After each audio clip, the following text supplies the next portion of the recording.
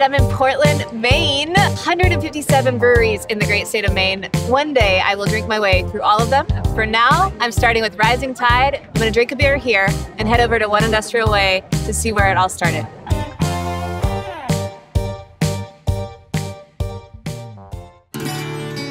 It's one thing to go and drink a beer at a bar.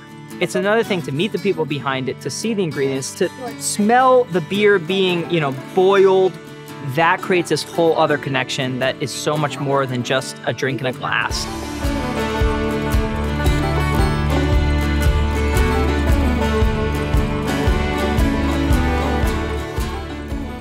This is Epiphany. This is our flagship beer. It's a double IPA. It's a little more bitter than a lot of New England IPAs, but it's also certainly not a West Coast IPA. We decided that we were going to call it a Maine IPA because that's where it was born. I moved here from central Maine, started a brewery after 12 years of home brewing. So we built a little brew house and started making Belgian beer. Late 2014, we brewed Epiphany, and now we brew a lot of IPAs. And they do their best to brew them sustainably. It's how I grew up, was wanting to be responsible. They started with simple things, like composting their hops and fruit. They found a farmer who could use their spent grain to feed his livestock. We're in the process of putting a silo on site so that we can reduce a lot of the plastic packaging that goes around our grain. We add a lot of hops to our beers on the hot side, and that creates kind of this green slurry that's really full of particulates. Some breweries send that slurry right down the drain, which puts a strain on wastewater treatment. So we separate that in an old super sack, which is a thousand pound grain bag.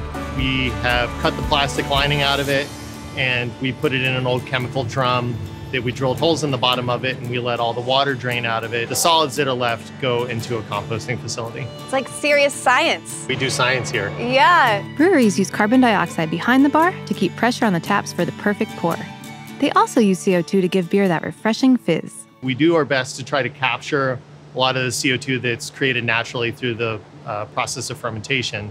But we can't capture quite enough to get the carbonation level to what you're drinking here. So Foundation Brewery is replacing CO2 with nitrogen. It's a big money saver and it helps the planet.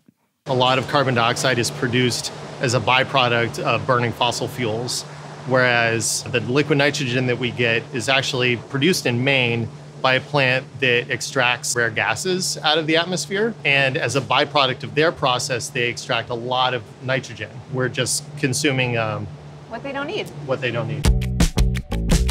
Hey, Sean. Hey, what's going on, Joel? You got a beer for me? Thank you. You're very welcome. Cheers. Cheers. Yay. Nice to meet you. Nice to meet you. So glad we got to connect. Yeah, finally. How you enjoying that epiphany? It's incredible. I'm having my own epiphany.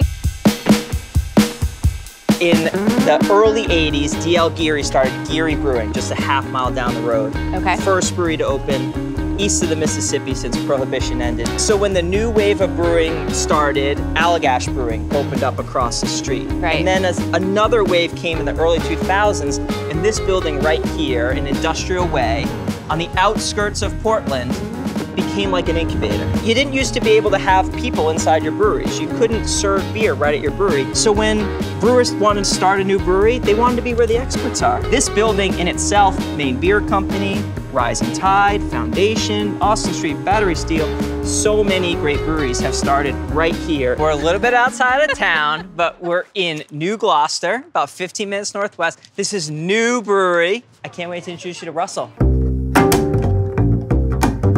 This is magic. I have a flight. We are north of Portland in the middle of nowhere, beautiful countryside.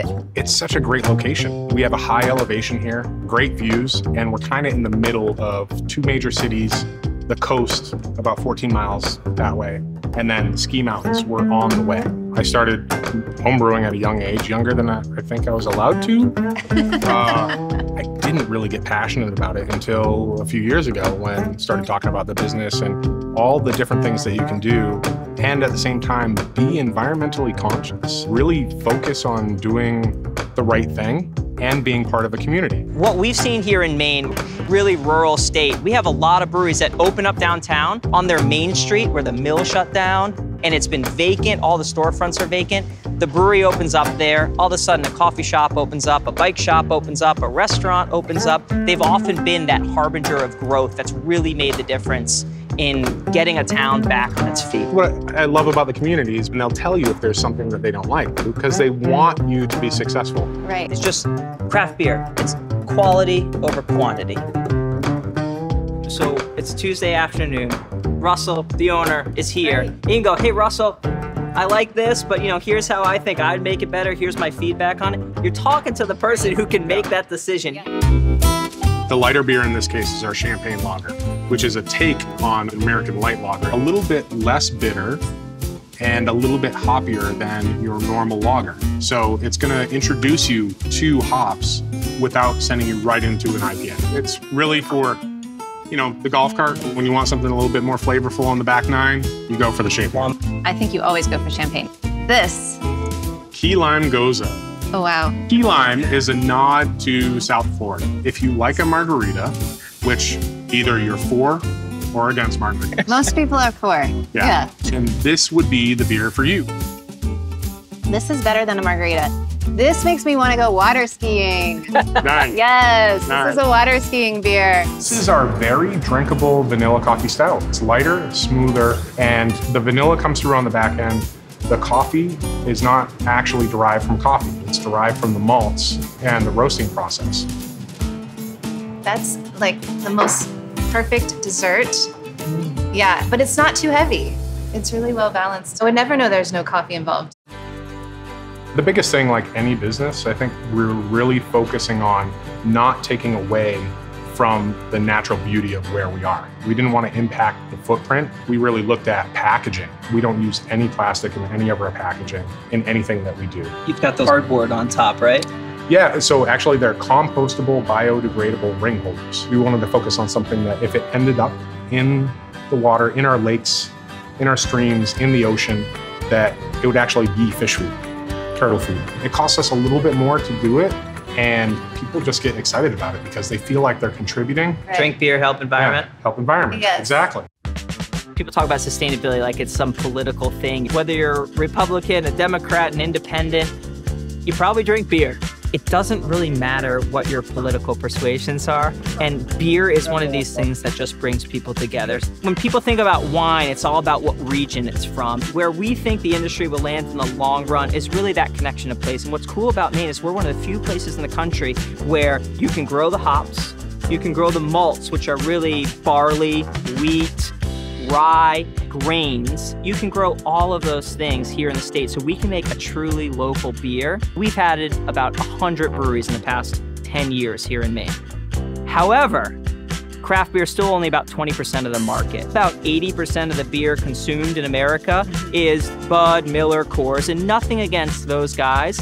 But what's awesome is when you spread that kind of economic impact around and you have it on a main street in a rural part of Maine or in a farming community in northern Maine or even in a downtown neighborhood that just needed a little love. It's really spreading that economic impact in a way that's, you know, creating opportunity all around the state. A little bit of love goes a long, long way. Amen. I'll drink to that. We want breweries that will last for 100 years. And so much of that has to do with not only building sustainable business, but also making sure the resources that we have that create this great beer are sustained. That rising tide lifts all boats kind of mentality is a hallmark of our industry. So I understand that everybody is helping each other out, but who's your favorite brewery? It's like my favorite kid. I can't say. No, I can't say. You spend an afternoon canoeing on a lake or hiking up a mountain and you get to the bottom of the trail and there's a brewery right there. Ah. the best beer is the one that you have when you're thirsty and you want a beer. and in Maine, wherever you are, there's a brewery there.